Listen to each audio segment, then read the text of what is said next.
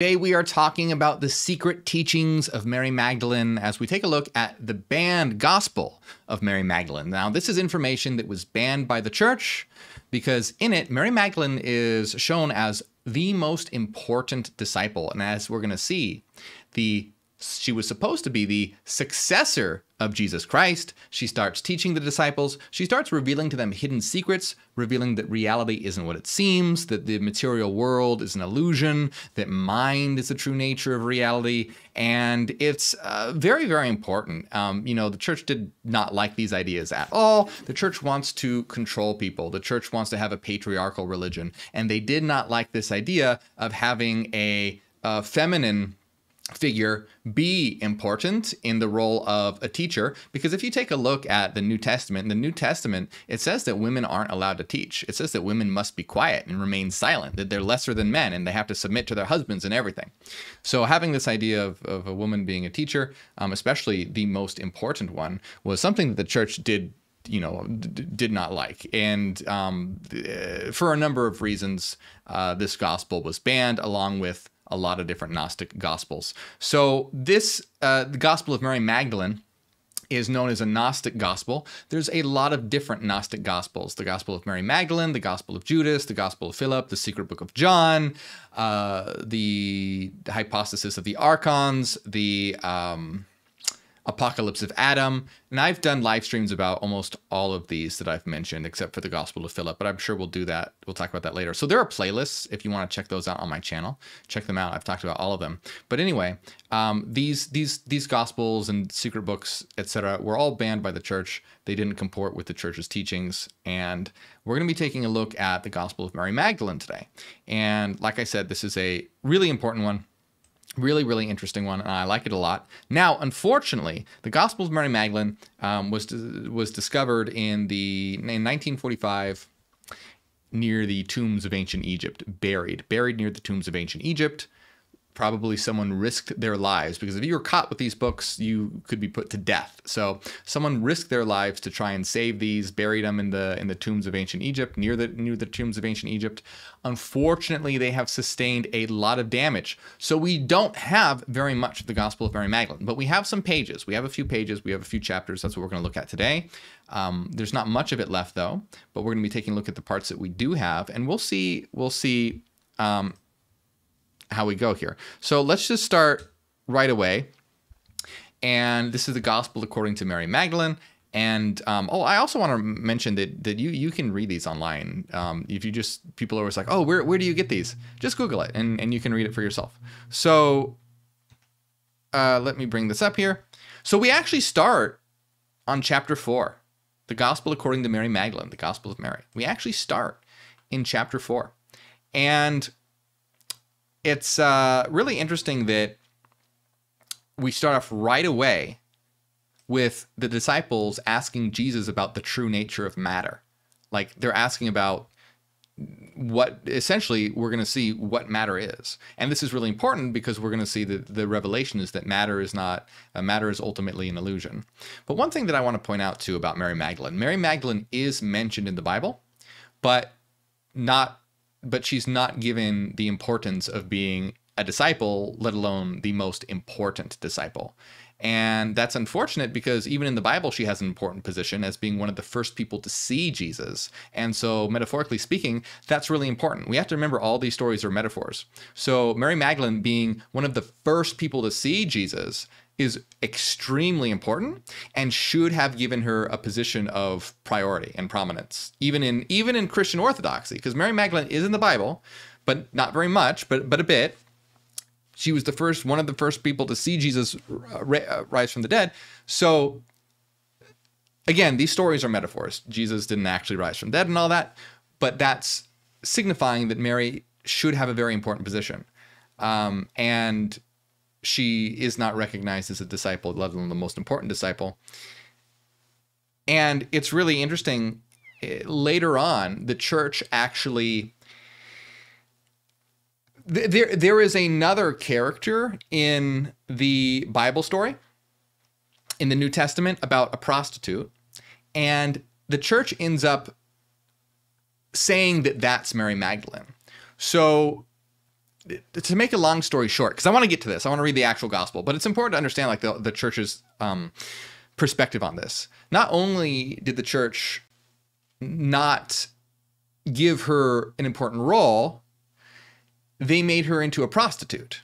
Now, that's not to say there's anything wrong with prostitution. I am a huge supporter of sex workers' rights. We, um, you know, had a had a, a, charity event for sex workers' rights, and, and that's uh, very, very important to me and to what we promote. But you can understand that, especially in the time of when when when when that happened, uh, that was looked at very very negatively. So to make the association of Mary Magdalene with a prostitute was was you know a negative association. Now again, I want to make it clear, I don't believe that's a negative association at all. I'm a very supportive of sex workers' rights, um, but you can understand how back then it would it was something that that was sinful. So I want to make that clear. Now, to to be uh, fair, it said that they didn't do that to try and smear Mary Magdalene, but to show that anyone can be saved. Because basically, Mary Magdalene, they made they made Mary Magdalene into this prostitute character, and then said, well, that Jesus forgave her of her sins, and then she was purified. So they try to say that, oh, well, they were really giving her a, a good position by doing this. But it seems very, very suspect to me that, um, you know, you have this uh, person who's supposed to be an extremely important person, but they start, they, they don't give her an important role. And then they start making these other connotations that in that time would have been looked at as very sinful and very negative. So uh, the church just hasn't been uh, super great with regard to what they have done. Um, now, and, and again, I just want to be really, really clear. 100% um, supportive of uh, sex workers' rights and all that.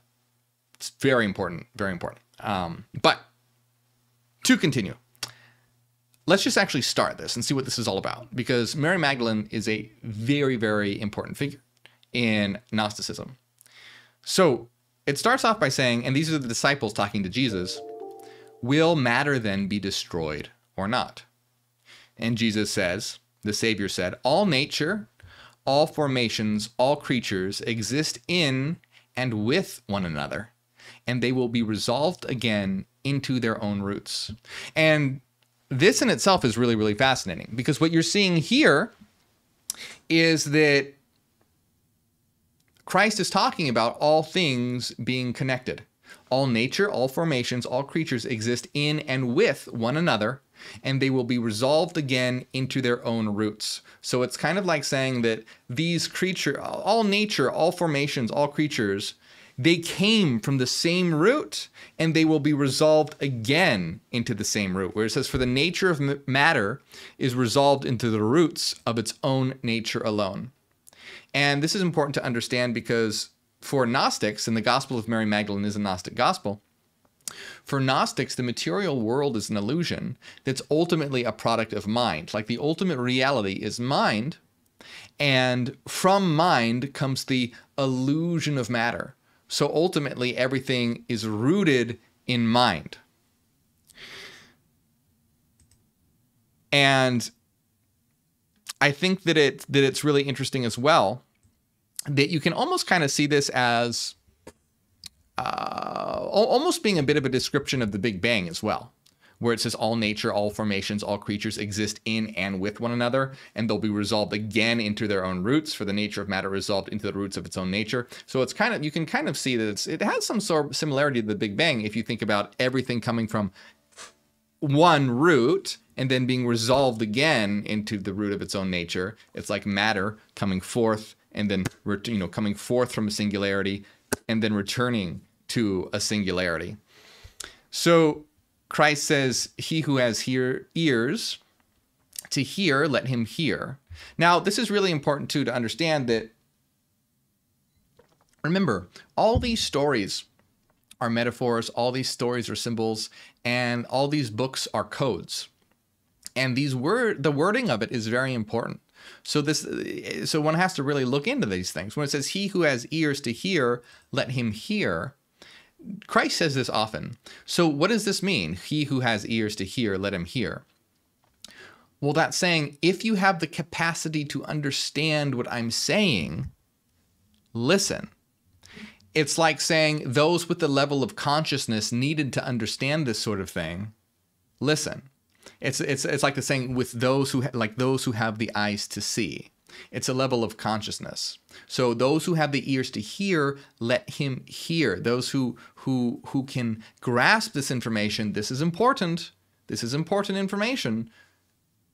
And and and listen. So it's a really emphasis on the importance of what's being said.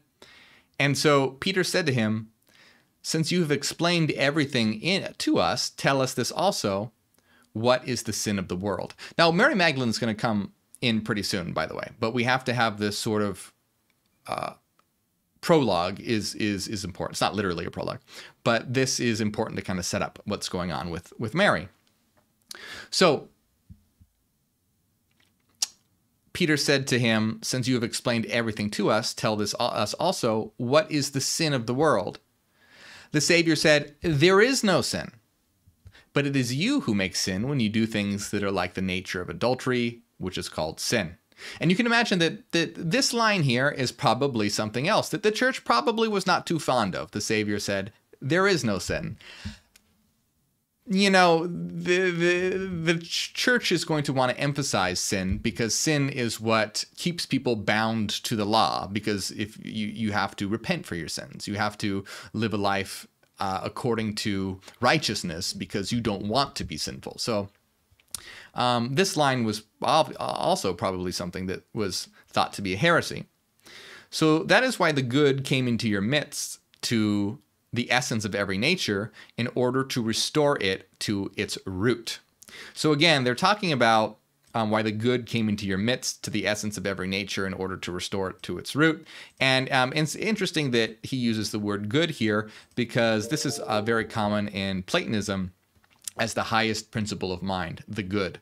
And so it's an interesting way of, of most likely talking about the good came into your midst to the essence of every nature in order to restore it to its root. It's like mind, mind, consciousness coming into the essence of nature to restore everything to mind once again. So the ability of mind to self reflect, self consciousness is coming into your midst so that through knowledge and understanding, everything will be returned to its root, meaning that the material illusion of reality will be stripped away and everything will be returned to perfect mind.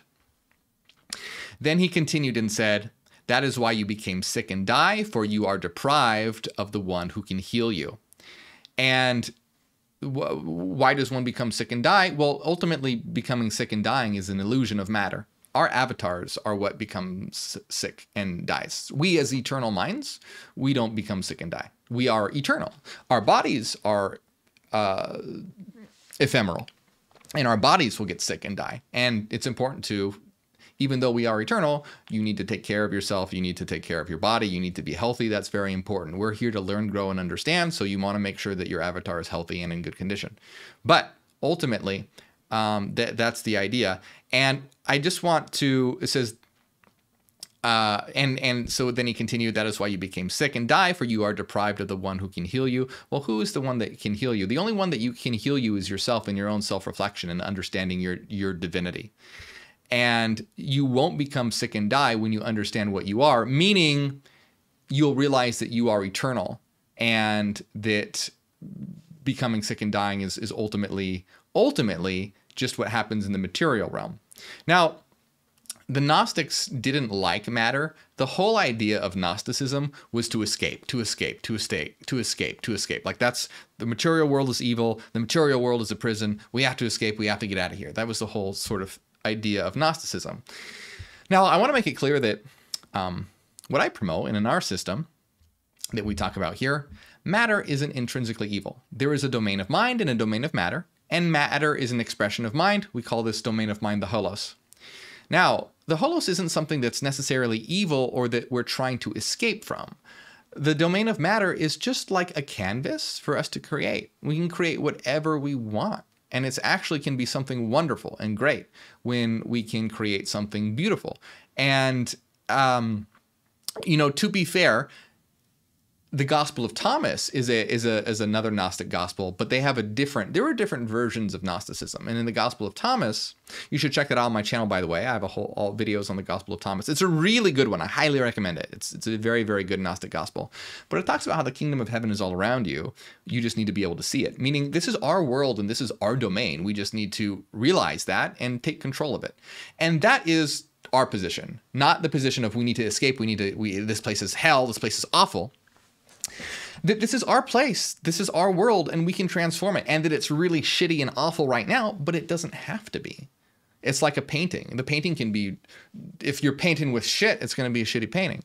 Well, that's why this world is in a shitty place because you have people who are only interested in their own self and they're not enlightened. They don't understand what reality is. They don't understand what they are, where they are, why they're here. And so it's a mess. But we know that we can transform this world. And that's ultimately what it means to be gods. We are gods. And, and gods don't escape, they don't run away. Gods transform. Gods create. We want to transform the world. We want to create a new world. We don't want to escape and run away because the whole point of life is to create and transform, grow and learn. And we can make this reality into our masterpiece. So I think that's something, there's a lot of great things about Gnosticism, a lot of things I like about Gnosticism. And there's different versions. It was specifically Sethian Gnosticism that did not like the material world uh, and thought it was hell. But the um, type of Gnosticism associated with the Gospel of Thomas had a different a different view. So uh, let's see. So Christ continues, He who has a mind to understand let him understand. You see, it's even more clear here. First, he says, Those who have ears to hear, let him hear. Now, he who has a mind to understand, let him understand. And this is, again, talking about how this is important information with regard to consciousness. Those who have the capacity, like, listen up, this is important. Matter gave birth to a passion that has no equal, which proceeded from something contrary to nature then there arises a disturbance in the whole body. That is why I said to you, Be of good courage. And if you are discouraged, be encouraged in the presence of the different forms of nature. He who has ears to hear, let him hear. When the Blessed One had said this, he and I, and I just I love that he keeps saying this over and over because this is what the Gnostics were doing. The Gnostics were intentionally writing in code and metaphor. And that's what a lot of people don't understand about the stories in the Bible and Gnosticism. That these are not literal events that occurred. Now, it's probably some of them, some of the stories in the Bible, I'm sure, I know, are based on actual events, but they've been a whole story and narrative has been wrapped around it. Kind of like if you buy a, a book a fiction book, let's say it's a murder mystery novel, and it takes place in New York, and there's real characters who live in New York and real cities and everything. Well, yeah, it uses people, locations, and whatnot that actually existed, but the story is going to be a fictional story around it. Well, same ideas with the stories in the Bible and the Gnostic stories, some of the events and places and people, but there's a whole uh, a fictional narrative around it that's meant to be understood in a uh, symbolic and metaphorical way. Now, of course, that's not how the church interpreted it, and look at the mess we we, we have gotten into because of that. So, what's important to understand about that is that the Gnostics knew that very, very well and they were writing their books specifically in a way to get people to understand this information. So when people criticize the Gnostic books and they say things like, oh, well, they're not consistent or they were written later. So, so it probably wasn't an accurate retelling of events or whatever. People are they're totally missing the point. It doesn't matter. The Gnostics didn't care. They weren't trying to be consistent. They didn't care about what time a certain thing was written. It was about the hidden message behind it, not the story. If you're just if you're just looking at the story at face value, you're miss you're you're only getting the exoteric version. You're not understanding the esoteric version. And I love how he's constantly he who has ears, let him hear. He who has a mind to understand, let him understand. They're trying to emphasize, hey, listen, see what we're trying to get across here. See what we're trying to convey here. And a really good example of this, I think, is you know, a lot of people talk about, well, was Mary Magdalene really the wife of Jesus, etc. And ultimately, that that doesn't matter. That that whole story, it it doesn't really matter because all these events are highly narratorized around a fiction anyway. What what really matters is because, for example, in the Gospel of Philip, it says that Jesus kissed Mary often on the mouth. Now, to be fair, it actually says Jesus kissed Mary often on the, and then very dramatically that that piece is missing. very very dramatic, um, but it's most likely the mouth. Uh, Jesus kissed Mary often on the mouth. In the in the in another Gnostic gospel, another banned gospel, the Gospel of Philip said this. Now, and people are like, oh well, maybe Jesus and Mary were married. And here's the thing: th- these books are are metaphors and code. So saying that Jesus kissed Mary on the mouth is a code and metaphor for conveying the importance and the equality of the divine feminine. And a kiss, kissing on the mouth is showing an intimate understanding of because you know Christ represents like conveying the true knowledge of reality. And so kissing Christ on the mouth and being the most important of the disciples is showing the, the, the there's an equality there. There's an the kissing on the mouth is an equality. So a good example is in the Gospel of Thomas. In the Gospel of Thomas, check out my videos on that. It's it's a really good one. You should check it out. It's important. In the Gospel of Thomas, it talks about those who drink from Christ's mouth that people that certain people drink from Christ's mouth. Now, of course, that's not literally literally true. There's not there weren't people walking around with the with the Jesus fetish drinking from his mouth. What that what that represents, drinking from Christ's mouth, means understanding what Christ is saying and integrating it into you. Truly drinking from his mouth, truly understanding it, integrating it, being nourished by it. So obviously that's not literally true that people were drinking from his mouth. It's a metaphor for that. Same thing with Christ kissing Mary on the mouth. It's even more so this intimate, uh, showing an intimate understanding of knowledge and there being that equality there. And that's so much more important and so much more interesting than just kind of like silly gossip, like, oh, well, were Jesus and Mary married? Like, well, maybe they were married. Like, I mean, that can be fun to think about. But do you see how much more interesting and fascinating and important the true message is about the the the the empowerment of the divine feminine and the importance of it and um, the true understanding? You you see what I'm saying? People always miss the message for the story, and this is why we get into a lot of you know terrible situations in the world because people take the stories as literal and then you have everyone killing each other because oh well it's Jehovah versus Jesus versus Allah, and now you have them all fighting with each other because they're all uh, say, "Well, it's my God that's the right God," and you don't. It's like, no, no, no, no, no. There's just one underlying principle, and people have understood this underlying principle through different symbols and metaphors. Um. Anyway, I digress. I just want to really emphasize that importance there because people, I get so many people that say, "Well, the Gnostic Gospels." aren't credible because they were written at a different time or they're not consistent. It doesn't matter. Gnostics didn't care. And the Bible stories were narrativized around a fiction anyway. And the, the whole idea was to um, put this out there in a way where there that that information was being passed to people who had the eyes to see, the ears to hear, and the mind to understand. And that's the whole idea. You can out, check out my videos on Freemasonry as, as well. It talks about this in Freemasonry, where you write these these coded stories where people who aren't very conscious will just read it like it's a story. Like, oh, that was interesting. Uh, but those who, with the eyes to hear, the mind to understand, will see the hidden message behind it and realize that it's all a symbol and a metaphor and a code. So um, and there's a lot more to this as well. But let's let's continue.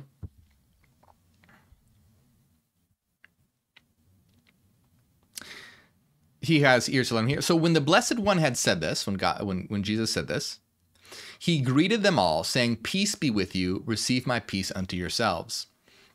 Beware that no one lead you astray, saying, Lo here or lo there, for the Son of Man is within you follow after him, those who seek him will find.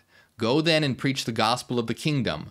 Do not lay down any rules beyond what I appointed you, and do not give a law like the lawgiver, lest you be constrained by it. When he said this, he departed. This is so important. Look at what's being said here, okay? Because what we're going to find out is that the gospel of Mary is a criticism of what would become Christian orthodoxy. You have these, the Gnostic, so Gnosticism before before Christian orthodoxy was established, the the Christianity was divided on what Christianity actually was. It was trying to people were trying to figure out, you know, did Jesus actually exist or or not, or was he was he a man, or um, I'm, I'm sorry, that was the debate. That was was Jesus a spirit or was he a man or was he a creation of God or is he God? All these kinds of debates. There was even a debate, especially if the God of the Bible, Jehovah, was evil or a good God. And a lot of the Gnostics said that he was actually an evil God. Now, um, so so what what's going on here is that this is a criticism of the type of Christianity that would become Christian orthodoxy. So, what's Christ saying? Beware that no one lead you astray, lo here or lo there, for the Son of Man is within you. So, don't be led astray by saying that Christ is here or Christ is there. Christ is in you. And what this means, Christ is in you, means that you can become you are Christ. That's what that means. People that that's when it says Christ is within you, that means that you are Christ. And being Christ means understanding that you're divine. Understanding your divine nature. That's what becoming Christ is. And that idea, like in Freemasonry, is called the perfect master and uh, we talk about it as hyper awareness. It's a new it's a new form of consciousness. You hear people talk about Christ consciousness. That's that's that as well. In there's differences between all these different things, but too generalized because of time constraints. That's what this is about. So to say that Christ, the Son of Man was in you is mean Christ is within you. You can become Christ when you realize what you are. So don't let anyone lead you astray, saying that Christ is somewhere else. So follow after him. Those who seek him will find him. Go then and preach the gospel of the kingdom.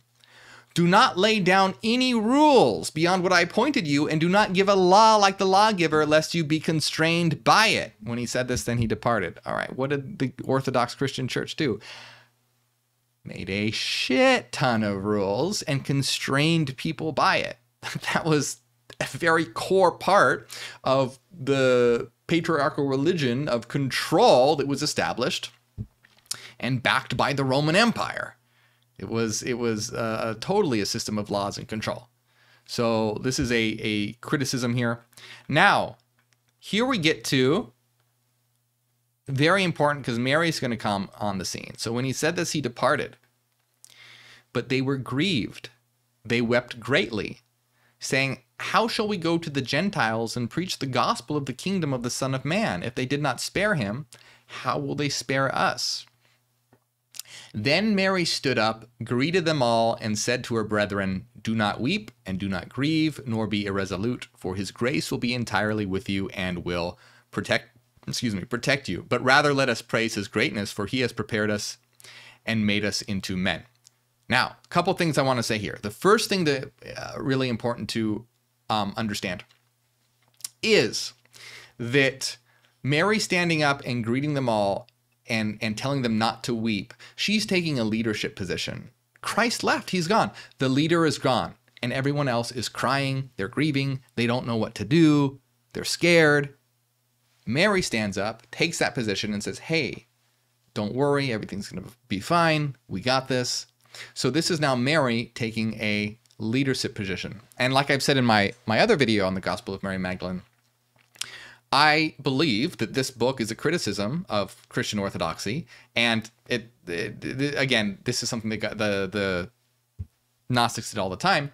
So I believe that Mary represents Gnosticism, while the other disciples represent what would become orthodoxy, and so it's really saying that Gnosticism, this acknowledgement of the importance of the divine feminine, is what should be leading the way that should be the successor of jesus because mary is being becoming the successor of jesus here jesus left everyone's panicking crying and weeping mary steps up and takes his place mary is now becoming the successor of jesus and this should mean that the feminine inclusive gnosticism should be the true interpretation of christianity because everyone else is crying and freaking out. They don't know what to do. So Mary steps up. Mary takes the leadership position, becomes the successor of Jesus. Now, there is a line here I want to point out because it says Mary stood up, greeted them all, and said to her brethren, Do not weep and do not grieve nor be irresolute, for his grace will be entirely with you and he will protect you.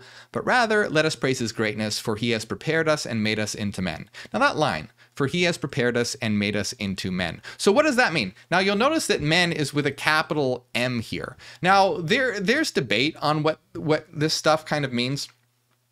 Um, uh, I've heard some Gnostic scholars say how in Gnosticism uh, they they used maleness as a metaphor for um, the higher self.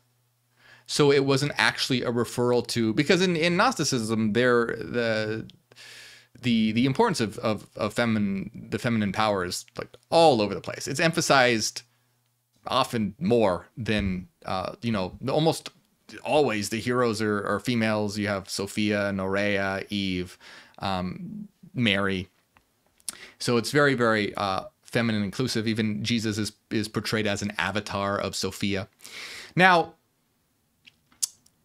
um, so some some Gnostic scholars think that prepared us and made us into men is talking about unlocking one's higher self. That that that uh, maleness was a Gnostic way of talking about the higher. That it actually didn't refer to maleness, but that was because you know they talk in code and metaphor. That was their way of doing so. Now, is that true? I don't know.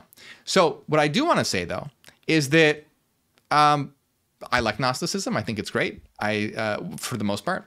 Um, there's a lot of stuff that I don't dis- uh, that I disagree with it.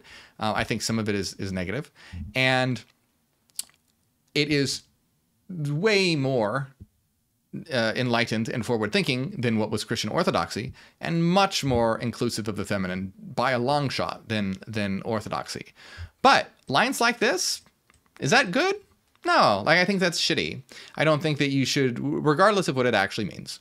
Um, you know, I, I don't think one should use maleness as as uh, you know even as a code or a metaphor or whatever for for that so these things aren't perfect they're not perfect. They were written a long time ago uh, in a different world in a different time. They're not perfect. There's there's going to be some stuff that uh, aren't good. You're going to probably find sexist stuff in in gnostic work uh, as well but very very very very minimally compared to what you would find in orthodoxy. But i just want to point that out. Gnosticism is not perfect. They have ideas that aren't great. And they use certain wordings sometimes that are unfortunate. And you know i would say that something like this uh, should have been worded in a in a different way. But there you go. You know it was that's that's that's my thought on this. But to not distract from the fact that you have this very powerful feminine figure taking the success, uh, being the successor of Jesus. So you can see that there's still like very, very cool, powerful feminine um, empowerment going on here, despite a poorly chosen word for um, a metaphor. Uh, but I just want to, you know, be clear about that and point that out. So you have the disciples crying; they don't know what to do. Jesus left, and now Mary steps up as Christ's successor. So when Mary said this, she turned their hearts to the good and they began to discuss the words of the Savior. So he turned their hearts to the good. They start using their minds, they start talking about things that Jesus taught them. And Peter said to Mary, "Sister, we know that the Savior Savior loved you more than the rest of women." Tell us the words of the Savior, which you remember, which you know, but we do not nor have we heard them. So Peter is saying, hey, we know that Christ loved you more than all the other women and that he told you secrets of existence that we don't know. Will you tell us? And it and Mary answered and said, What is hidden from you, I will proclaim to you. So you can see, not only is Mary taking the role of leader, Mary is taking the role of teacher. What did what did Christ always do? He, he taught the disciples. So Jesus left. Mary stood up as leader, and now they're coming. They're like, okay, hey Mary, can you can you teach us? Mary is now leader and teacher, succeeding Jesus. And um, so Mary answered and said, What is hidden from you, I will proclaim to you. And she began to speak these words. I, she said, I saw the Lord in the vision, and I said to him, Lord, I saw you today in a vision. He answered and said to me, Blessed are you that did not waver at the sight of me. For where the mind is, there is the treasure. And I I really love this because it's it's just it's such it's always such a jab at orthodoxy because in Christian orthodoxy it's it's for um uh, what is it? It's like where where the heart is, there your treasure will be also. And then for Gnostics, is for where the mind is, there is the treasure. And there's nothing wrong with the heart or emotions. That's that's fine. But you can see where, you know, Orthodoxy is all about faith and belief and. Uh, you know, feeling you're saved because you feel Jesus or, or the, you feel the Holy Spirit. Whereas Gnosticism is all about the mind, looking within, understanding your own divinity, reflecting on the nature of reality, understanding yourself. And so I just, I really love this line, you know, for where the mind is, there is the treasure. So that, the mind, where the mind is, that is what is important. That is where value is. Where the mind is, there is value. There is where the true value is. So I said to him, Lord, how does he who see sees the vision see it through the soul or through the spirit. So she's basically wanting to know, you know, I'm having this vision. How am I seeing this vision? Is it through the soul or is it through the spirit? The Savior answered and said, He does not see through the soul nor through the spirit, but the mind that is between the two, that is what sees the vision. And again, this super, just so cool how, because again, in, in Orthodoxy, it's all about faith and and and the soul and, and whatnot. And here, this because Mary's even asking, is it the spirit or the soul? And and and Christ is going, it's not the spirit, it's not the soul. It's the mind that sees the vision. It's the mind that understands. When by seeing the vision, the mind is what understands the higher levels of reality, the levels of reality beyond matter. It's the it's the mind. You can access it through the mind. Now, this was we started on chapter 4. This was chapter 5. We lost a bunch of chapters. And we go to chapter 8 because guess what? Church burned these documents. And uh, so we don't have, we only have the copies that we have that were buried in the tombs of Egypt. And these chapters are missing. So we have to go to, to chapter 8 which starts with it. it. We did. We had. We saved it. Uh, so, but but this is what we can we can piece together what's happening because we know what the Gnostics believed through other Gnostic gospels. So Mary is having this vision through the mind. And it starts by saying, and I'll give you some context. Let me see how long this is. Okay, so we don't have, I think we'll be able to get through this in one video. Yeah, I think so. Uh, so let's let's talk about how I really could stop here and we could do do a two parter because it's already been what thirty minutes. Let's just do the whole thing, I guess. Let's do the whole thing because this, so so Mary is is talking to Jesus, and uh, eh, seeing seeing I'm sorry, Mary is having this vision, and through the mind, and what's happening really here is that Mary is seeing different levels of reality, mental reality beyond the physical, because remember, the material world is the illusion. And she's talking to different, one could say, evil entities, but we're going to understand what this means. So let's just start and I'll explain it. And desire said, I did not see you descending, but now I see you ascending. Why do you lie since you belong to me? The soul answered and said, I saw you.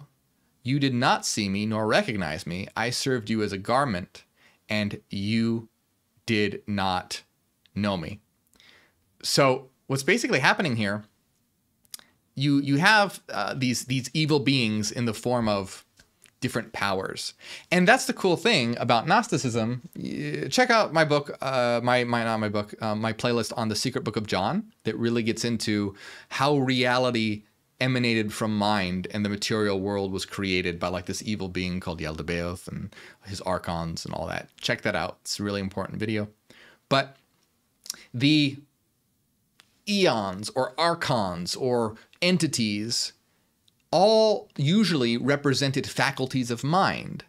So you had, you know, Sophia was wisdom. So Sophia was. Sophia was wisdom. And you had these different beings that represented different faculties of mind. And often you had the, the evil beings that represented what Gnostics would consider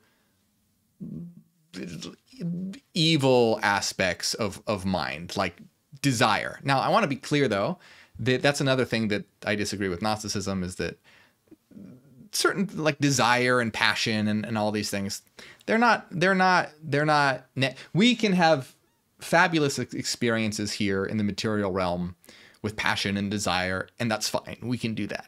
Um, but you can understand where in their mindset, it's like, oh, well, desire ties us to the material world. And you can see this Buddhist element in here, where it's about, oh, it's desire that ties us to the material world. We have to get rid of desire to be able to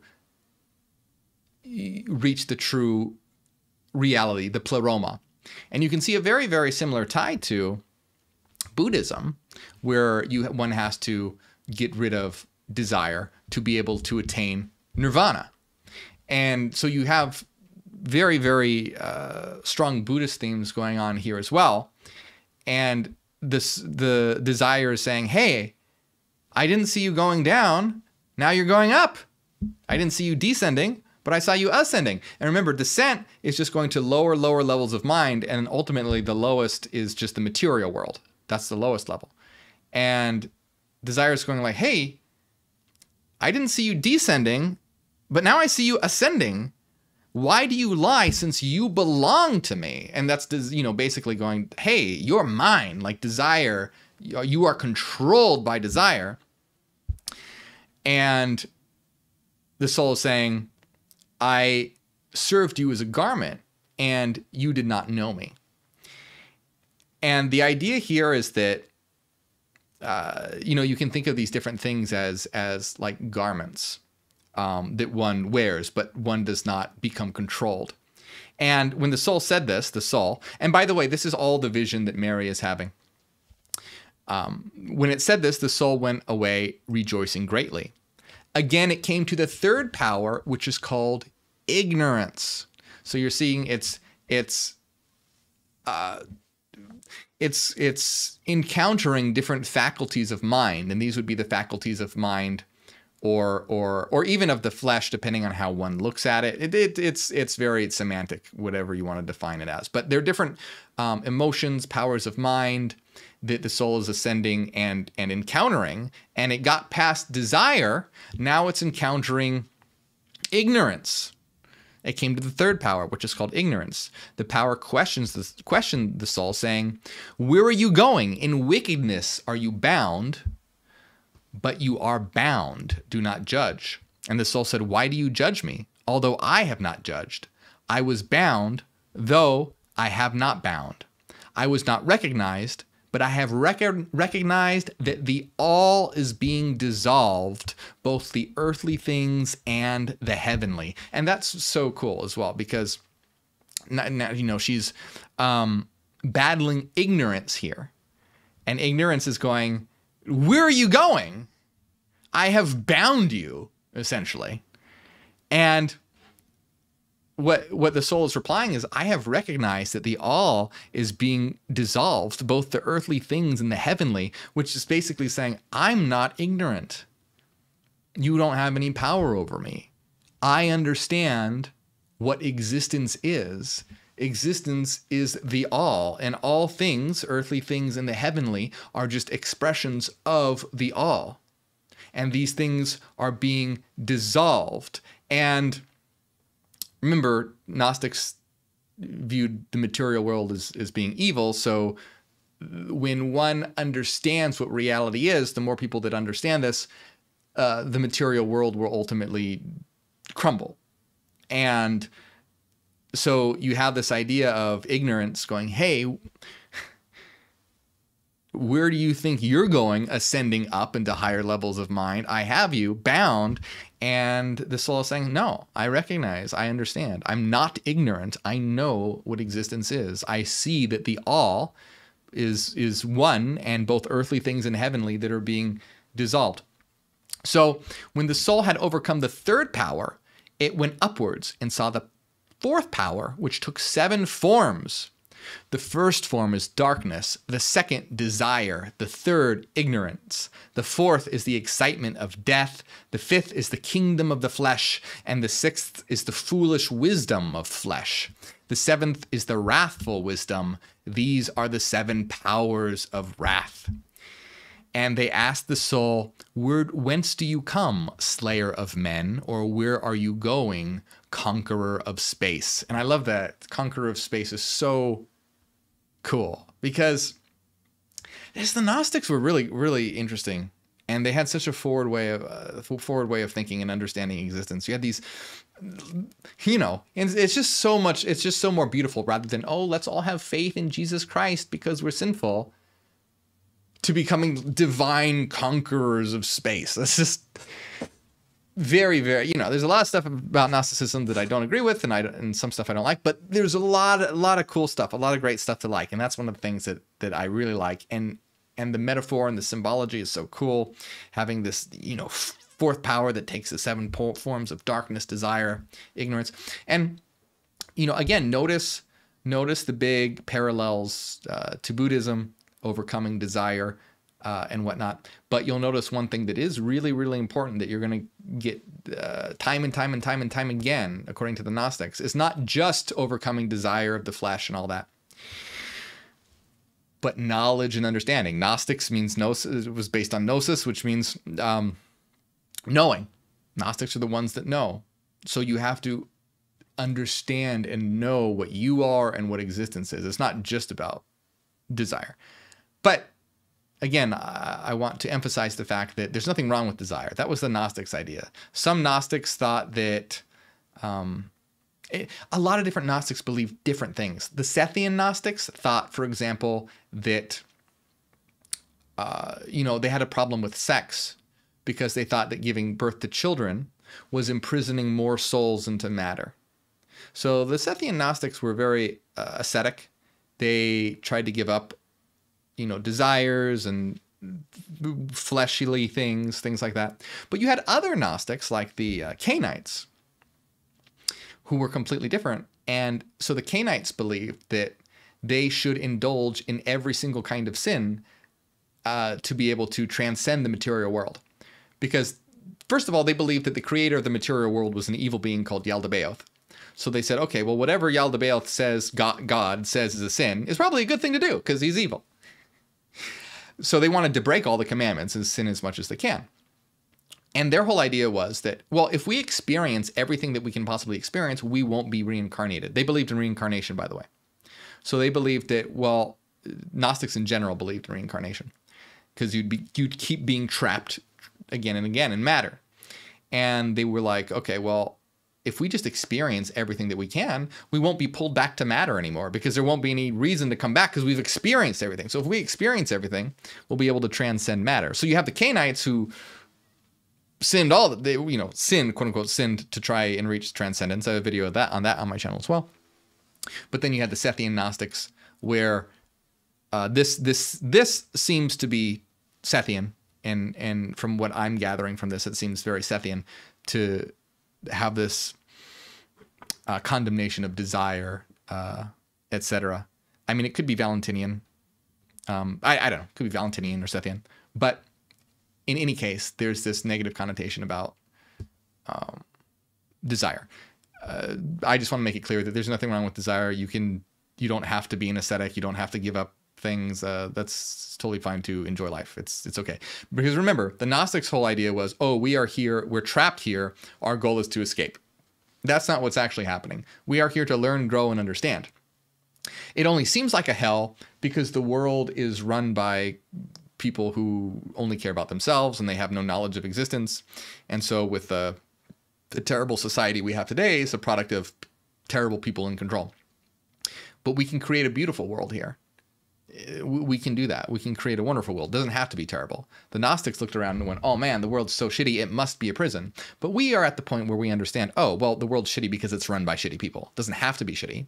So It's not like, oh, well, we have to give up things of the flesh and desire to be able to ascend. No, there's nothing wrong with experiencing and enjoying life.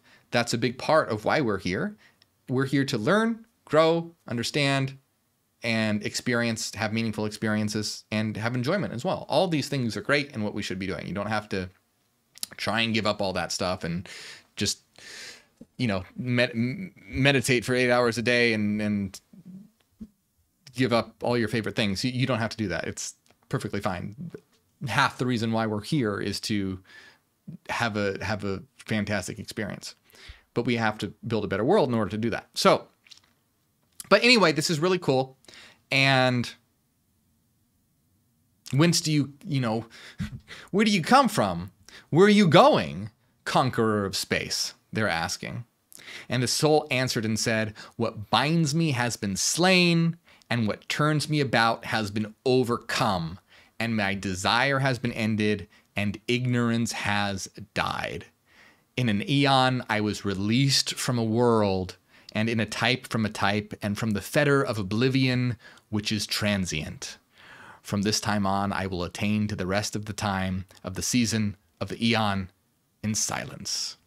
You know, they they had a very poetic and beautiful way of writing transient oblivion. I love that. I love that. I love that. I love that. From the fetter of oblivion, which is transient. So that is the end of chapter eight. And then in chapter nine, we get to the point where luckily, luckily we have the conclusion. So Mary has been telling all this to the disciples. Because remember, Jesus left, Mary took the role of leader. Uh, of the leader and the disciples don't know what to do and she's saying hey don't worry it's all going to be okay and they're like hey what's going on can you can you teach us and she's like, Sure, I will teach you about the hidden things. And she begins to tell them about the different levels of reality beyond matter and how to overcome it. How to overcome ignorance, how to overcome the, the wrathful wisdom, the fear of death, the kingdom of the flesh, etc. And she's telling, teaching all this to, to the disciples. Now, when Mary had said this, she fell silent, since it was to this point that the Savior had spoken with her.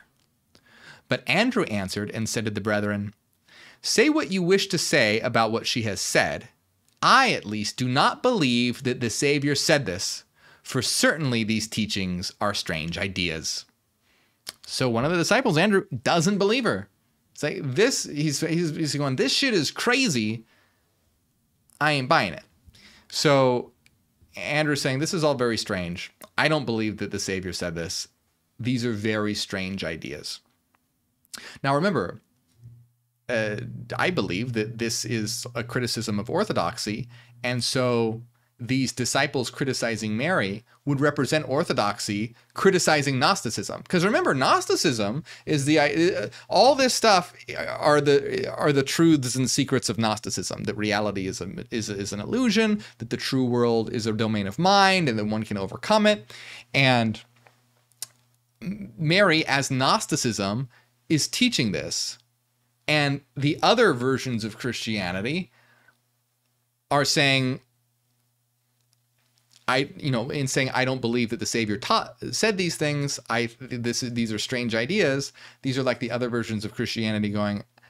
I don't think that this is actually um, what what Christianity is. I think these are crazy ideas, and that's exactly what happened with the Gnostics. The Gnostics were they had these ideas, were very feminine, inclusive, and then the, the the the church, what would become the church, what would become the church was like these are crazy ideas. And Peter answered and spoke concerning the same things. So Peter agrees, another disciple agrees with Andrew. He questioned them about the Savior. Did he really speak privately with a woman and not openly to us? Are we to turn about and listen and all listen to her? Did he prefer her to us? So now you have this idea of them not believing because she's a woman. And he's and they're they're being very sexist. They're going, well, would, would would Christ really tell this to a woman and not us? And there is this again this connotation that we see in Christian orthodoxy wanting a patriarchy and diminishing the feminine aspect and the role of the feminine. So you can see that role being taken by Peter and Andrew, and Peter specifically in this point, by going, These are crazy ideas. You really think Christ is going to tell this to a woman and and you and and and prefer them to us and and so basically this is going you know those who who looked at gnosticism and went not these gnostic ideas are crazy first of all they're weird and look at how look at all the you know powerful feminine characters in it don't you think god would would want powerful male figures you know you see what i'm saying it's it's this criticism coming from other versions that would be criticizing gnosticism and we see that played out with peter criticizing Peter and Andrew criticizing Mary. Then Mary wept and said to Peter, My brother Peter, what did you think? And this is important because the, the, the disciples really went out and established the, the various churches. And so um, it's this seeing this as this criticism is important where basically the Gnostics as Mary are are crying and and and being like they're just trying to teach. That's what the Gnostics would do, by the way. They would go to you know other Christian services or whatnot or, or, or meetings, and and they could go, hey, you know, people who they they they would look for people who because I remember I told you that there's the exoteric version, the version where people believe the story just for the surface level. The story is what it is, and they don't see the deeper meaning. And then there are people who see the deeper meaning. And so the Gnostics, when they would see Christians who were seeing, had the eyes to see, had the mind to understand, were seeing that there was more to than what it seems, they'd go, hey, let's we want to tell you these secrets. We want to tell you these teachings. We want to tell you the truth about what's going on. And so this whole idea here is about the Gnostics trying to impart this knowledge, but it being rejected by the Christians of the time and them condemning, calling them a liar, and having these condemnations against the Gnostics. And this is, we see this with Mary weeping and saying to Peter, My brother Peter, what do you think? Do you think that I have thought this up myself in my heart or that I'm lying about the Savior? Levi answered and said to Peter, Peter, you have always been hot tempered. Now I see you contending against the women like the adversaries. So now you have another disciple pointing out that Peter is being sexist and making women into adversaries, which is which is very very sad and and terrible. But what we saw in what happened with Christian orthodoxy, in Christian orthodoxy, uh, women aren't necessarily adversaries, but the Gnostics were adversaries, and the Gnostics supported the feminine uh, empowerment and inclusiveness of that.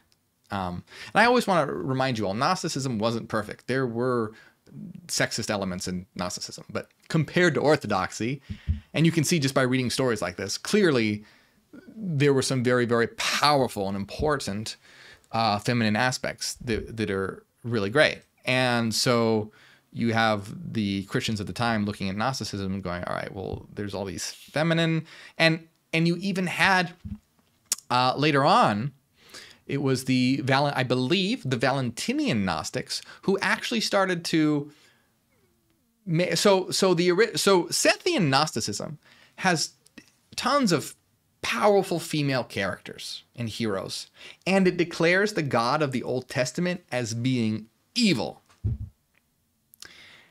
And you can imagine that there were a lot of Christians who didn't like this. They didn't like the the powerful feminine figures, and they didn't like calling God of the Bible an evil being, Yaldabaoth, the blind god, Samael.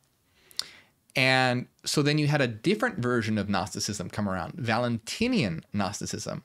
And what they did, and this is this sucks, but what they did was they said, "Hey, let's try and make this more palatable to people and and so what they did was it was still Gnosticism, but instead of God being evil, they made God uh, not evil, but just a lesser God, not the true God. The God of the Bible wasn't the true God, but he wasn't necessarily evil. And they also started really to downplay uh, the feminine roles. And it's unfortunate, but the Gnostics were trying to get this information across and the Valentinian Gnostics were like, well, hey, no one's listening to us because we're saying God is evil and we have all these powerful feminine figures, so let's try and change that. So that's really unfortunate. Um, but you can see that they were trying their best to get this information across to a very uh, critical audience who eventually killed them, you know, and, and burned their books. So you, you can see this here. And in Orthodoxy, women weren't necessarily adversaries, but they were lesser than men. In the New Testament, it says women must be quiet, uh, they're not allowed to teach, that they are lesser than men, that they must submit to their husbands in everything. They're blamed for the original sin because they were deceived by the serpent and not Adam, that Eve was, but that they can uh, save themselves by giving birth to children. So, really, uh, very, very, very poor view of women the Christian Orthodoxy has in the New Testament. Um, so Levi is saying, Peter, you've always been hot tempered, and now I see you fighting against the women like the adversaries. But if the Savior made her worthy, why are you indeed to reject her? Surely the Savior knows her very well. That is why he loved her more than us. Rather, let us be ashamed and put on the perfect man and separate as he commanded us and preach the gospel, not laying down any other rule or other law beyond what the Savior said. And when they heard this, they began to go forth to proclaim and to preach. And thus ends the Gospel of Mary Magdalene. And like I said, we only have a couple chapters of this when a, whole, a lot of it was lost, unfortunately. But you can see the, the parts that we do have are extremely important. And it's just a really uh, beautiful story of you know Mary being the one who understood the truth of Jesus and being that successor to Jesus. And and the metaphor of Mary being the successor of Jesus is the metaphor of Gnosticism should have been the true version of Christianity to lead, not orthodoxy, not what would become orthodoxy, not these other versions. But of course that didn't happen. Uh, Gnostics were destroyed. Um, so uh, this this is despite not having a lot of this, what we do have is excellent. And I highly recommend if you enjoy these, uh, check out my other videos, especially on uh, the apocalypse of Adam, uh, which talks about the story of the Garden of Eve from the perspective of Adam and Eve, and Garden of Eden from Adam and Eve, and talks about how Adam and Eve were originally one being that the evil God split into two. So you have a nice equality of, of male and female there as well. And um, Eve is a hero. Her daughter Norea actually defeats God. Highly recommend that one. Uh, it's an excellent one if you enjoyed this. Again, it's called The Apocalypse of Adam. Check it out. It is excellent. Now, thank you so much for joining me. And if you ever feel like you've learned something or gotten something from my videos, consider supporting on Patreon. It helps out a lot. You'll get access to our weekly secret live streams, our hidden Discord server, The Citadel. I want to give a shout out to everyone who does support, um, especially Zach, Renaissance Fairy, Cassidy, Michael, Angela, Maria, Top of the World, Ethan, DB, Joel, and everyone else. The link will pop up right over here. Thank you very much.